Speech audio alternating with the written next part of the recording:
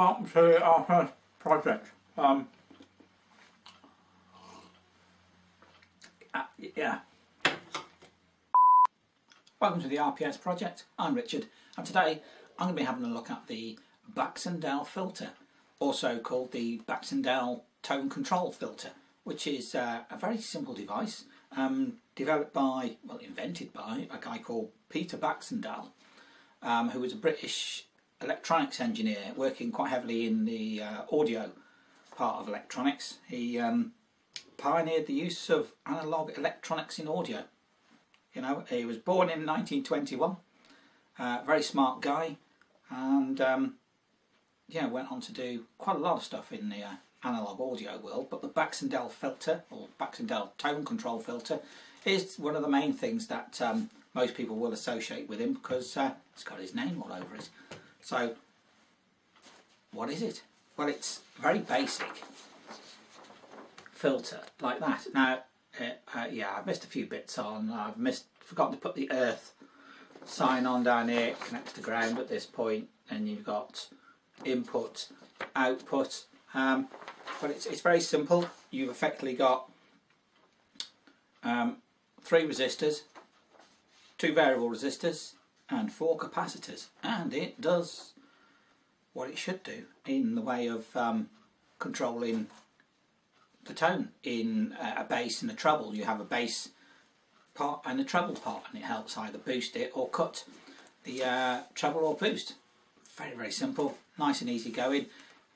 I quite enjoyed actually looking at it. I've got it here on the breadboard, so um, I think we're going to get on and have a look at that. Also going to have a look at, I think, the considered operation of it. Um, so I've got some um, some manual CAD drawings here that I've uh, put together. So I'll have a look at that and uh, see if we can understand what this thing's doing. Okay, so here we have it on the breadboard. Uh, a couple of pots, resistors, some capacitors. I'm using 100k pots here. This one is the bass and this one is the treble. Um, I've got 100k in parallel because I wanted some 50k pots but I didn't have any so that works for me. Um, three resistors and um, some capacitors in there to make the circuit. I've got another resistor on the output stage there and this is my input. Now I do have a couple of other things in here. This is a um, couple of amplifier circuits, class A amplifiers. This is a common collector and then we've got a common emitter. Um, just to help the circuit really but I, I'm not looking at the signal through them. I'm looking at it after it's come through them and before it goes through the the output um, stage. They're just there I think to help keep it a bit more stable or well that's the circuit I was looking working from or looking at when I decided to put this together. So um, that's what I decided to uh, to set up on here. But the, the, what I'm actually looking at is just this filter bit here so, uh, well, let's um, turn it on. Just pan up a minute so you can see the scope, because that's where we want to look. There we go. So if I uh, turn on the circuit first, there we go, and then turn on the signal generator. And there you have it. So we've got an input, signal 1, and an output Let's just have a look at the um, at the. Oh, I've already got it set up. Yeah, 500 millivolts. What I'm putting in is what I'm seeing on the scope. What's going into the filter, but obviously what's coming out is something different because at the moment we're on 50 hertz, so we're on low voltage. I mean, sorry, low frequency. This is low voltage, half a volt but it is coming into the filter. But I suppose, first of all, I ought to get and have a look at the uh, at the circuit. Um, have a look at the um, manual CAD uh, drawings and um, see if I can understand what it's doing before I start messing about with it and uh, trying to confirm what I think it's doing. So let's have a look at that. So here we have the uh, Baxandall filter, the um, well, my representation of it it uh, I suppose isn't the best of drawings I've forgotten to put ground on it and this is the input and this is the output. I suppose the other thing I'm going to need is um, something to mark out the flow on it. Let me uh, get another pen. All sorts of stuff you end up with in your pencil case don't you? end up with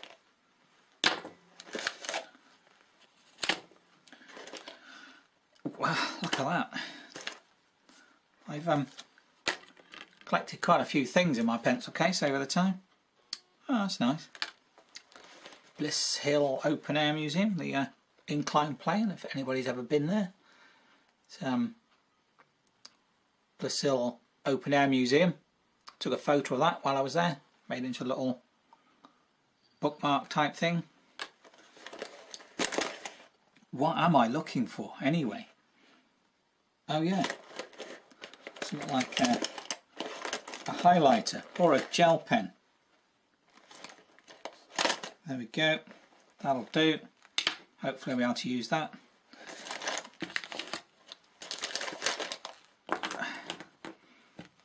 way, that way, and there. Compass. Bookmark. Right. Now I've done that, we can actually get on with it.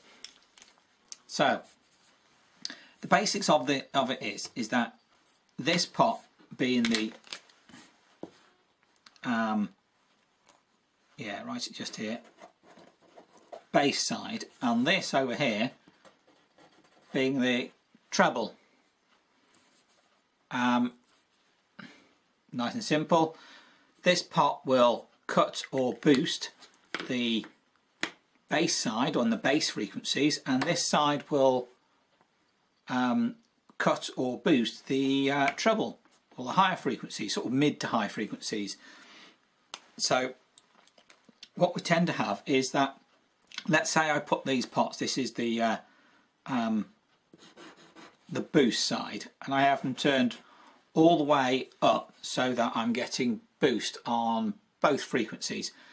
So what tends to happen is that we'll get a signal will come in here and it will go through this side. Now because this is turned all the way up the easiest path to do is to come through here and then we'll go well go two ways. One you'll have it going through this capacitor and then through this resistor to uh, to the ground. But you'll also get the signal coming through this resistor to the output. Now the other thing about that is the other part of the signal that is going to be going through the other side. Get my notes on this try to get it tell it right haven't I? Um, is that it's going to come through this side, through this capacitor and then to the output. Now depending on what frequency you're at depends on how much of it's going to go through this side uh, and this resistor and this capacitor form a low pass filter. So only the lower stuff's going to come through and all the higher stuff as you take the frequency up, the higher frequencies are going to come through here because at low frequencies, with these treble turned all the way up, it's this capacitor, the reactance capacitance, sorry, let me say that again. The reactive capacitance of this capacitor will determine how much signal gets through. So I'm using a 4.7 nanofarad uh, capacitor there, which means at 50 hertz this thing has a resistance value, effective resistance value of 678 k ohm, 678,000 ohms. Whereas at 50 kilohertz, it only looks like 677 ohms. So at the higher frequencies, it's going to let a lot more through. Through this part of the circuit and this part basically at that point plays effectively no part in the um, in the process because the frequencies are so high. So let me just move this on and we'll have a look at pots in a different position. So uh, bass, treble, input, output. Should have done this beforehand, shouldn't I? Never mind, it's what you get from uh, manual CAD. If I now was to turn both pots down to cut, which is turned all the way down, then the signal is going to come through a bit differently. We're going to come in this way through this resistor, but now it's going to come through this capacitor, and then when it gets to here, it's going to come down this way through this resistor to ground. But you're also going to get some of it going through this resistor to the output. Now, when you've got it in this scenario, you end up with this resistor, sorry, this capacitor and this resistor forming a uh, high pass filter. So that is a high pass filter which as we know allows all higher frequencies through which is coming here. But at the same time because it's cutting what you also have here is some of that signal that comes this way. Is going to come along here and then pass through this capacitor to ground. So we're cutting out. So when this is at low frequencies it will go through this way and cut out the higher frequencies, cut out the frequencies at that uh, when you're at the lower end. So you cut out the low frequencies because a high pass filter will just let through the high stuff and the low stuff will just get sent to ground. But at higher frequencies, it'll come through here and because this is turned all the way down, it'll just cut them out. It'll just send it down to ground and uh, depending on the capacitor you've got there, depends on how much you're going to end up cutting it. Now I think I've got a 33 nanofarad in here but I mean a lot of them will have like 100 10 10 and then 5, uh, 5 or 4.7 or maybe even a 1 nanofarad in there. So it just depends on what capacitors you've got in there. So when it's when it's all on boost you get that. So you get as much of the signal coming out whether you've got the frequency low like 50 hertz or you've got the frequency high let's say 20 kilohertz um, it's all, all going to come out, so it's going to get as much as you can. But when you turn the pots down, you're going to get, you're going to cut out a lot of the signal. So when it's down on the bass side, 50 hertz, you're going to lose most of it. And on the treble side, when it's like 20 kilohertz, you're going to be cutting out most of that signal. You're going to lose most of it. Now, I suppose I should have a look at it with the uh, with the pots in the uh, in a halfway position or one turned up one turned down. So yeah let's do that. Um, let's get the um, rest of the parts in there. So we've got bass input output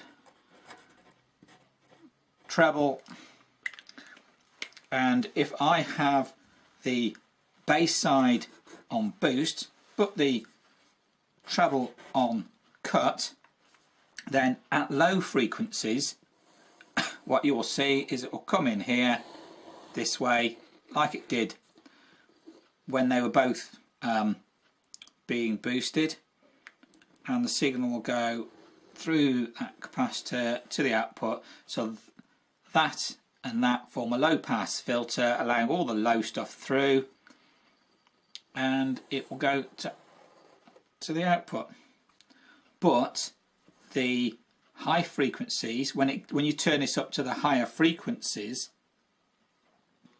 when this is on cut, what happens is it just takes that signal and will dump it down to ground. So you'll lose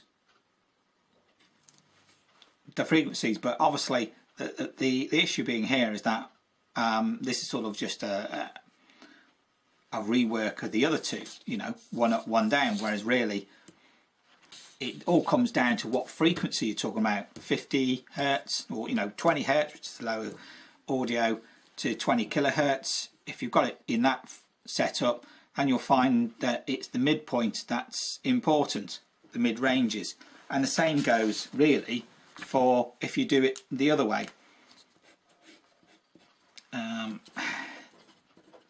bass input output treble.